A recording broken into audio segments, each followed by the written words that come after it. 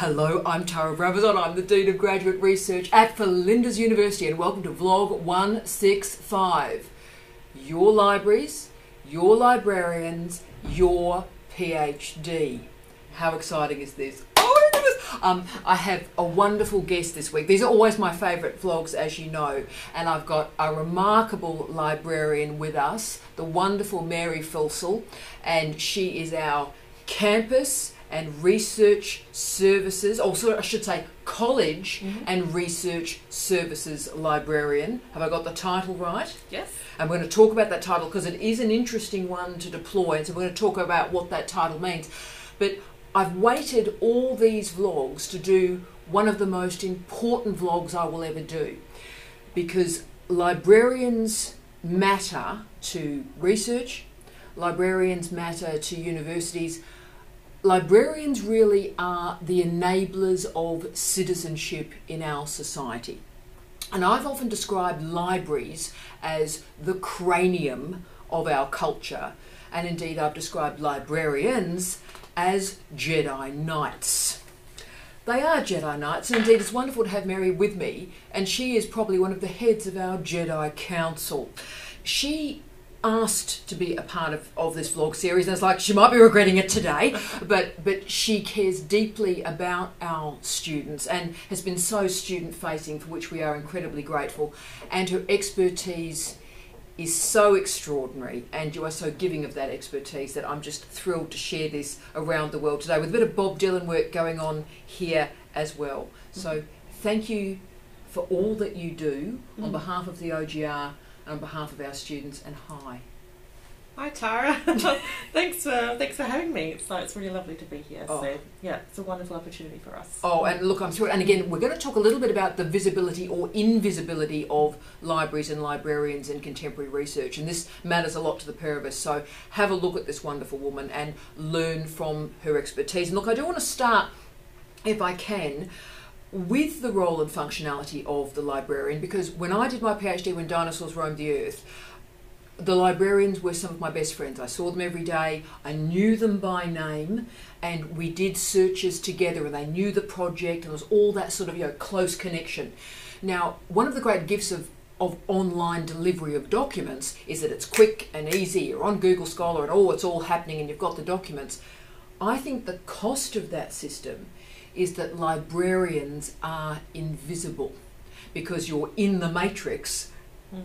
and you're making the matrix work. And I think there are consequences for that. So, could you tell us a little bit about what you see as the sort of the contemporary role, if you like, of a librarian for a higher degree student in a master's or a PhD? Tell us about the librarian role. Mm. Well, um, I'm one of the College and Research Services librarians. So what we do is we work across um, all of the colleges. We're a very small team. We're a small group. Um, there's currently five of us, and we're all multidisciplinary ourselves. A lot of us have degrees in various different areas.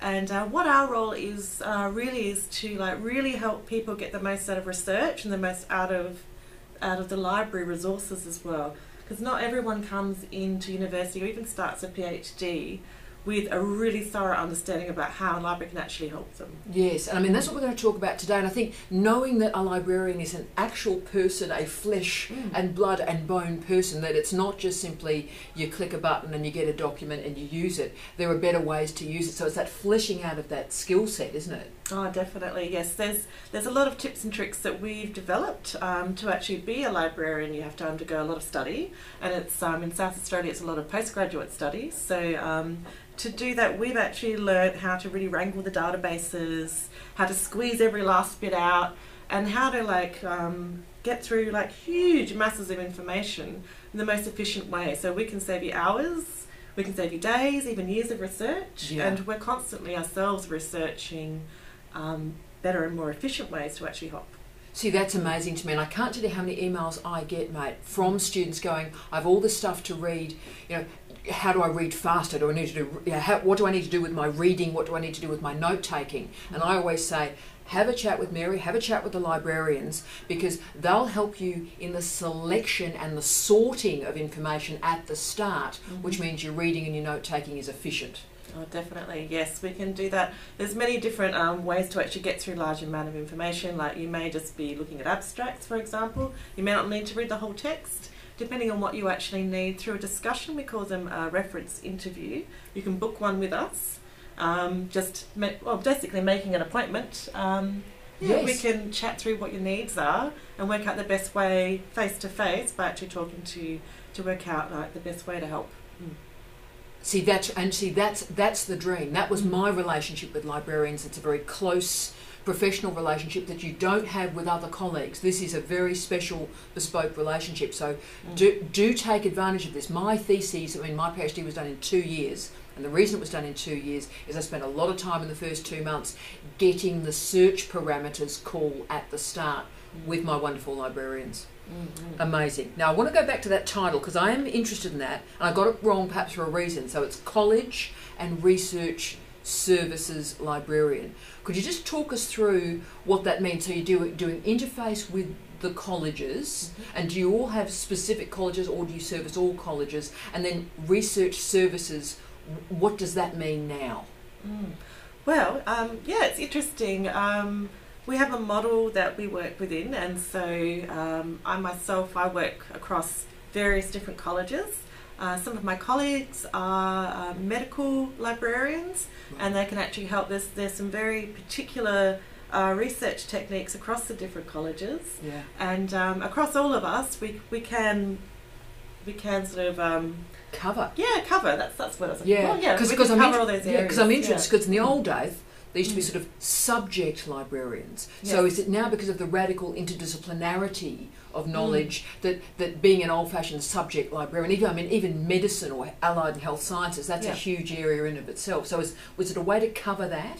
Yeah, it does cover that, which is good, and it also helps us to actually um, be able to look to see, like, if you're a subject, if you're in one particular subject, you may not be confined by that subject. You could actually cross subjects yourself. So sometimes it's very helpful to have someone who's interdisciplinary for interdisciplinary work, and that's a lot of the way the information is going in the future now. A lot of it is cross disciplines, so you might be mixing screen studies with AI, something like that. Absolutely. so that's the type of mindset, like future mindset that we um, that we're sort of covering. And I'm just certainly thinking, you know, I mean, medical education is one of those areas that's incredibly interdisciplinary.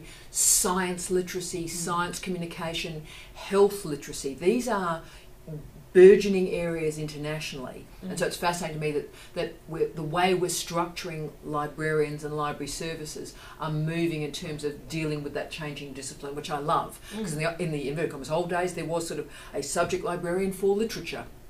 And you would often do undergraduate right the way through to PhD, wouldn't you? So the cut would be a subject librarian would do that subject at all levels. Yes, that's right. Um, uh, luckily for us, um, this type of structure actually helps us to just focus on PhDs, Masters by Research, and we also work with academic staff and uh, and researchers within the university as well. So our focus is at quite a high level um, because we can actually interrogate everything from bibliometrics through to um, the nuances and finding uh, things like grey literature, looking through archives. Um, yeah, so all sorts of different types of research. And, and alt Mm. metrics is becoming an interesting area as well. So the Mm. metrics is, is transforming, and of course, we're needing to do as academics reporting on those metrics as well. So we require your expertise. So that's see what's happened, guys. It's amazing. So you've got that interdisciplinary spread, but you're specialist in terms of the top end, Mm. and and that helps all of us enormously. I didn't know that. Mm. Now we've already talked about the digital delivery of information, and that that has changed everything and created this accelerated intellectual culture. I think, Oh, yes. which is good and ill. Mm. But one third of our students live outside of Adelaide, and one third of our students are part time. So, could you talk to our students that maybe can't see you on this campus? Mm. How librarianship can operate for you guys in regional South Australia, in the Territory, and indeed our international students? Oh yes, fabulous. We can. Um, we have a lot of um, ability to help uh, students who are off campus because we can take appointments, one-on-one appointments, have a chat uh, face-to-face with you via Skype. Um, we can, if you provide us with your preferred phone number, we can call you and we can do an appointment over the phone as well. So we can still offer a very personalised service and we can still ask those really important questions to find out how we can best help you. and um, we can answer all sorts of questions, even if they're things that we don't particularly cover ourselves. We can actually help you find the answers to a lot of a lot of different things that actually are going to help you with your study, especially with your research. Um, so we do that. We also have good old-fashioned email, so you can email us as well, and um, we also will be doing workshops in future. We will be hoping to record some of those as well. So we'll eventually have those out. So we're growing our off-campus services. That, that's fantastic, and I will take that service. I, I move around the regions as well. Just a, a sort of meta question for you as well. Mm. Do, do you think that there's, I mean, I do think this, so I just want to get your confirmation Mm. using your expertise, but I think there's never been a better or an easier time to do uh, a digital thesis. So be in Mount Gambier, be in Port Lincoln, Mm. be up in Katherine or Tennant Creek and, and doing a PhD. Do you think the library services are, are rendering that more possible and useful and effective? Um, yes, I think so. I think there's um, a lot of the ability, especially it is always good to touch base and actually talk to someone. So keeping in touch with your supervisor is imperative, and also to I mean, but you can do that over the phone. You can do that via Skype. You can do that through written correspondence as well. Um, but we do have access to a range of data sets, databases, all sorts of resources online, uh, which can be like really greatly beneficial. And you can do a lot of the research. A lot of the research is done online Yeah. Um, and we can help you navigate those systems because they are a maze and every single database has its own particular little ways that likes it to be talked to. It does. So, and yeah. also, you, Mm. what particularly when we start a PhD or start any new research project, we don't know what we don't know. So we mightn't even know that a database exists. Mm. So that's where you know, we're going to need the expertise of these wonderful people because we don't know that this capacity exists. So we need to ask the question, I think. Mm. And you have the expertise to answer it for Oh, us. We'd love to. Oh, it's fantastic. But th- that's great. So for the guys and girls out there, um, off outside of Adelaide, Mm. let's do this. They're, they're ready and willing to, to assist you. So let's Mm. use it. Oh, and I should Please. add as well, just just remembered that if you have um, requests for articles that the library doesn't have, um, you can you can request them to come actually be delivered to you. You can have paper copies delivered, and you can also have um, there may be something the library doesn't have a holding for as well. So there's a document delivery service which will get what you're after. If you're looking for a particular article, we can bring it in from any library that holds it that we can communicate with. And that's a vast network. It's not only Australia wide, it's international. So And- can help. And that's fantastic. And f- for example, that also works to see a PhD. Obviously, a lot of the Mhm. North American doctorates are available online That's as right. open access. Mm. But if a thesis is available somewhere, it's also possible to deliver Yes. that one as well. Yes. So that's fantastic. Mhm. I'm only smiling because Marie Meredith, one of our former PhD students in an earlier vlog, talked about how fantastic the library was because I think you were sending stuff up that arrived on a Greyhound bus Ah, and was left in the post office for her when she came to this very, very tiny little country town when she arrived. So th- that was the scale of the document delivery, and she did a magnificent thesis in a very, very remote area Mm. of Australia. So what, what an achievement that is. Mm, it's very possible. Now, I'm also completely obsessed, as you know, about Mhm. information literacy. It's one of my obsessions, my loves. I think it is a foundational belief, not only for students, but I think for citizenship. Mm. What's what's your view on information literacy, and do you think that skill should be taught overtly to PhD students, or can you learn it on the job? What's your vibe on information literacy? Mm, mm, that's a good question. Um, I just I'll just repeat what I think information literacy is. It's it's about um, knowing how to find and access and even use information. So information is a very very powerful tool. But just like learning how to use a pen, you can make a mark, but can you write a word? It's it's that kind of um, that sort of concept. My brain just exploded. Oh. Okay. yes, so it's um, yeah to be to be literate with information. There's there's a lot of things that we can help and we can guide with, um, and it's yeah it's it's a very powerful tool. I think was it Neil Ga- Neil Gaiman had a great quote which I like very much, and he said um, Google can help you find hundred thousand answers, but a librarian will help you find the right one. That's one of my favourite quotes. Mm. And I've seen that on a T-shirt actually, and, and that that's actually true. In a proliferation of, of information, or what is often called an information glut, the issue is how you create the seam and a seam of quality. Because if one goes straight into Google, as a lot of people do, go straight into Google, then you've got glut, a lot of relatively low quality stuff, which might get you to a certain point of scaffolding. But how do you know you've found, the, or how to find, how to find the Mm. great stuff? Which at a PhD, Mm. we need to be going there. Yeah, especially like what we call now like a post-truth world. Um, there's there's a whole lot of like false news, fake information. We've got tools that can we can give you. We can give you a link to.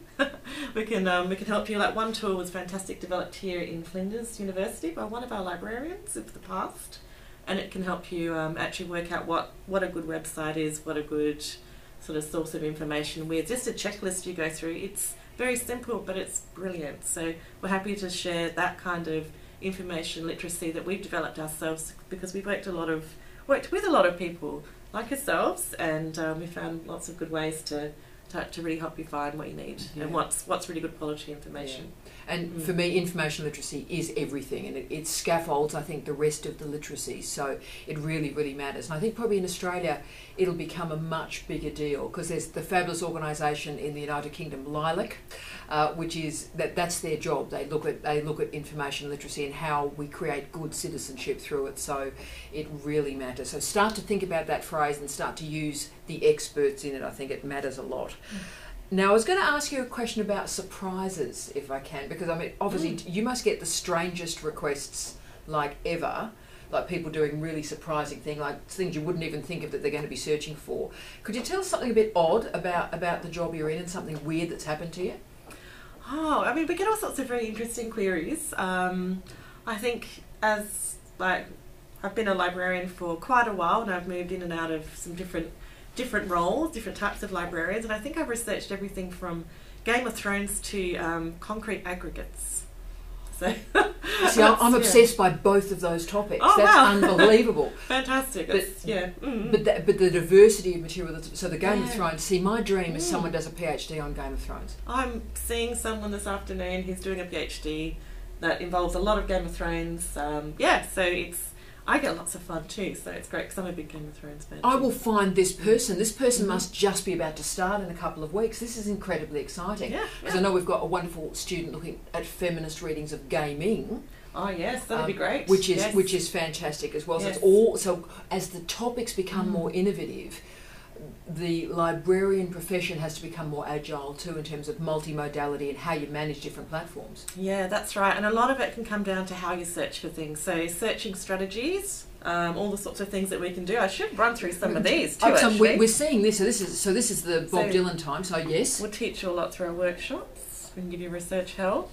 Should have done this earlier. No, this I'm excited. Um, we can do advanced searching strategies, which we're just talking about now. So we can actually get together and find out the question you're really asking, break it down, and actually work out how to feed it into a database to get what you're after. Now, see, that matters because it, the students are just developing research questions, mate. Yes. So you've got a research question, you think your job is done, but actually the research question then has to lead into information literacy strategies to enable that question. So that's Mm. what you're doing there. That's brilliant. Once you have your research question, that's about that's one of the best times to spend some time with us because we will help you get your search right from that from that point. We can like be the most effective we can. I think I think it's one of the apex moments for us. Look, it is. Is when that is yeah. And that'll save months of your candidature. Mm-hmm. Months. Mm. It will it will help structure your liter- literature review Oh. or your systematic oh, review. Gee, and gee, they can be dull too. If they, if they can be done so badly, can't they? They can be Well, just. yeah, they, you can you can be spending a lot of time when you may not need to, so we can cut down yeah a lot a lot of time with it because we actually help you structure and have like repeatable results. So there's a, there's a bit of science to it too. Well, the systematic reviews are really tough too, and of course, Yeah. if you publish a systematic review, heavy citation of the systematic review. So if you get them right, and of course, Mm. I always say systematic reviews, Mary made are, are front loaded, so you've got to get them right at the start, or else it all goes really cold and dark and problematic really, really fast. So you, if someone's doing a systematic review, you, I would argue you need to see a librarian early, Mm. really early, because if you get the parameters wrong, it's just more work. Yeah, it's, a lot more it's work. not going to end well. But if it if it ends well and it's a great systematic Mm. review, heavily cited. Mm. Ooh, Off-campus services. Um, we can do pretty much everything we can do here on site. that's off terrific. campus. Uh, and what we can't do yet, we will have coming soon. So That's terrific. we can do our document delivery. Send it is available, especially for the people who are a very long way away. if you're not affiliated with any of the actual campuses, so if you're not at Tonsley, you're not here at Central, you're not at Sturt, you have access to Send It. Look up Send It. It's excellent. I will look up, send it, and I'm sure it is excellent. So, so that means for our, our great guys and gals up in the territory, particularly, and then we've got a lot of crew in regional New South Wales and regional Victoria. That's useful. Mm, Terrific. yes. We can talk to you across Skype or by the phone. So that's our Skype. You And can this book is one great. of us. You can book us as a Skype appointment. So if you're making an appointment, even if you're off campus, uh, just select Skype, and then we'll know that you want to talk on Skype, and we'll make sure that we're that we're ready and not eating our lunch. So That's fantastic. Or eat your lunch, you have a cup of coffee together. Oh, I always think they're We good with do. Skype, so that's Yeah, fantastic. we can do oh, that. and this is the links, so Yes. that's it. So should I do it? So it's flinders dot libcal dot com slash appointments. I might try and do a link to that in the information bit of the video as Oh, well. yes. That's great, mate. That's Mhm. fantastic. one of those. Or you can email us, Yes. and I put the email address on here too. So research librarians, all one word, Mhm. at flinders.edu.au. You might be about to get thousands of people just going, Hi, I really love your hair too, because your hair is fantastic. So Well, yes, that's great. Well, that's that's great. My, my other colleagues also help. We monitor this. And they also have great hair, can yes. I say as oh, well? we, we all do. Yes, it's a librarian thing. part of the Yeah. job. Yeah, that's Yeah, right. Yeah. The glamour. The glamour. well, we are part of the glam sector. Yeah, galleries, libraries, and archives and museums. and museums. That's right. Yes. It's one of our big things, you know. Oh, now what have we got? We've got https slash slash slash flinders.libguides.com slash hdr library induction. So tell us about this. Well, we've got together um, a library guide, which is like a little mini website, and it, everything we've talked about today will be just there, one click away. Wow. So, and that's we're going to embed that into your REST program. We are, Yes. which is our professional development program at Flinders University. Mm. Uh, that's tremendous. Yeah, so we thought we'd develop ones uh, Wow. specifically for HDRs, just in case you just think, well, I've seen the video, now I want to have a look at the LibGuide and search around myself before I contact anyone because, yeah, I, I don't know, she was a bit strange, that, that crazy But, librarian. but she so wasn't. But this could be, a, again, a scaffolding so that the Yeah. time you're spending with our librarian colleagues, you've, you've got sort of the vibe Mm. and you're ready to ask the right questions. Yeah, that's it. And you can just have a bit of a navigate around. You can see, like, there's links to document delivery to send it. Oh, To great. off-campus services are on there as well. Oh, I'm Um, going to download this myself and you can shortly. just you can even book or email us through that lib libguide as well. So if you've got to find any spot, this one will just bring you to us and our services. Let's do that. I mean, look, I didn't know that. I've learnt something today, and I'm going to go to that quite obsessively. So that's brilliant. That's really, Mm. really useful. Oh, we've got more bits of paper. Okay. Contact us all. Um, that's fantastic. I, and I say my next question Mm. is not dealing with any of that. So I wish we had synergetically done this, but that was a fantastic. We'll just do that randomly forever and ever, you and I. But my next question is not addressed by those, and that is about open access. Oh yes. Yes. Now, I'm obsessed about open access. It's my particular politics. Mm, mm. I think we're paid by the Australian taxpayer. The Australian taxpayer has a right to read our research, to be frank. Mm. And I get a lot of questions from our wonderful students about open access. Mm. So, could you tell us why open access matters, and perhaps particularly matters for PhD students in terms of what they're reading, Mm. but also what they're publishing? Oh yes, yes, of course. Yeah, open access. Um, we're we're very supportive of open access, and so we can um, we can have a bit of a chat to you about that too, if you like. Um, yeah, so with open access, um, yeah, the the whole principles are really about things being findable and accessible to as many people as possible. What actually happens um, when you're actually searching, looking through databases, those sorts of journals, um, is that those are what are kept behind what we call like a paywall. So that wall um, is open for a lot of us uh, here at the university, but once you're outside of that point of privilege, you can't always get your information out beyond that wall. And sometimes it's like 30 Aust- or 30 American, yeah, 30 US dollars to Mm. read one article. I mean, that's it's right. Yeah, I mean Yeah. that's a huge barrier. yeah, it's a massive barrier, and it can cost an author like three thousand dollars. Is not unheard of to actually publish something, even so it is accessible to to everyone. The university has a few great um, options which can be done. So if you're publishing, um, and if you've selected a journal you want to publish, you may still have your work behind um, a paywall. So Taylor and Francis, Elsevier, for example, are clear examples of that. Yes, that's right. Yes, so if you do choose to publish with one of those journals, um, normally you'd have to pay a fee to make it open access, which means it's accessible to everybody who wants to have a look at it or anyone who Googles it and it comes Yeah. up. Um, yeah, to see that full text.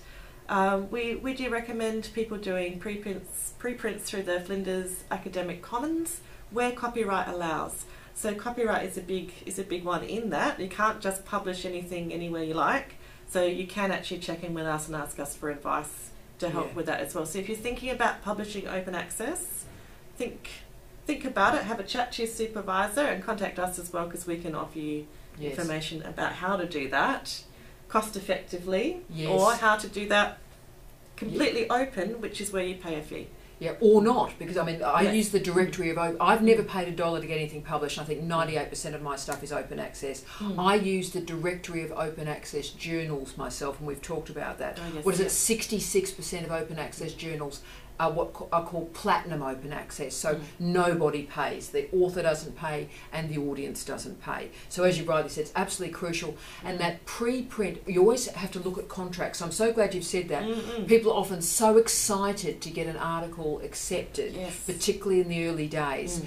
that you don't read the contract about Mm. the rights that you're actually signing away. Yeah. So, as Mary's rightly said, if you can have a pre-print version, it's often called. Is that green?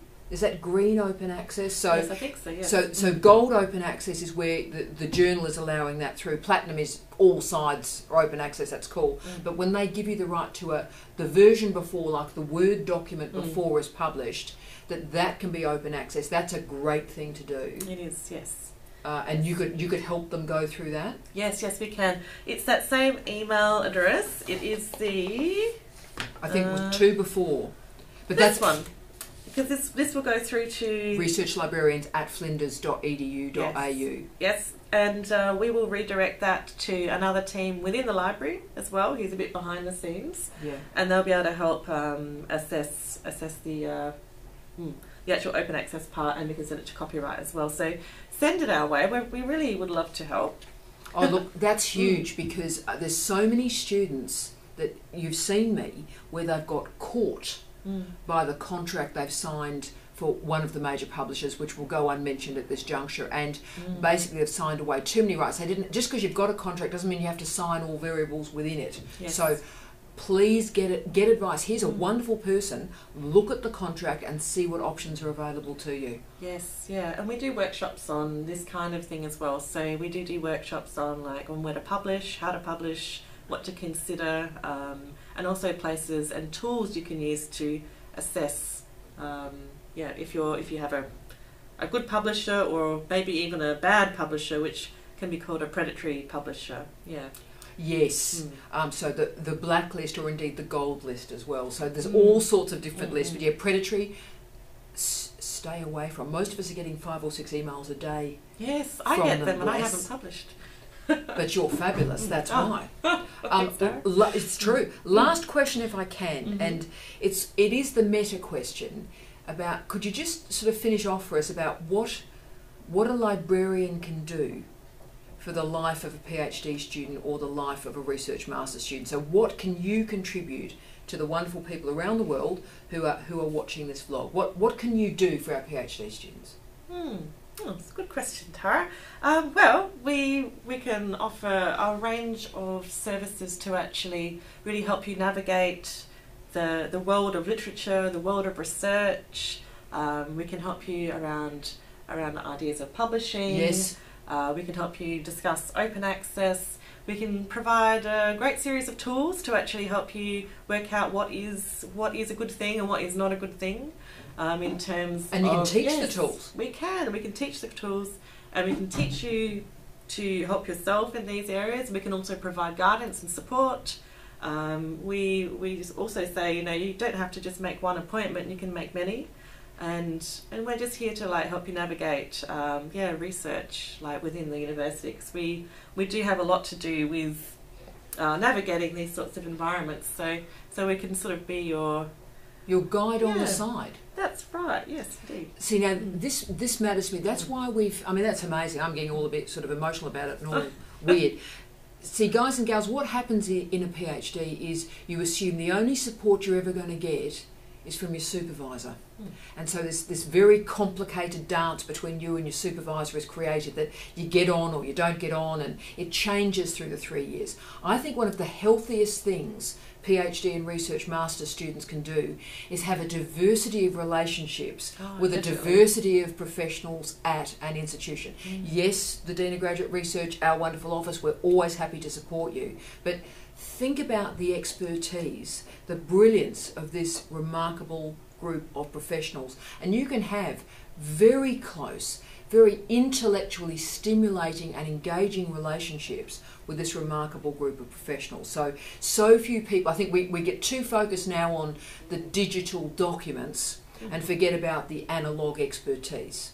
And so perhaps what today is about is is getting you all to think about that suite of support that exists for you, of which our librarians are really the bedrock, the foundation of that support structure. So Mary, thank you so much for this. I've learned a hell of a lot today. Oh, fabulous. Oh, Um, you're, you're amazing. On behalf of the two of us, uh, we wish you love, light, and peace. Take care, and you rock.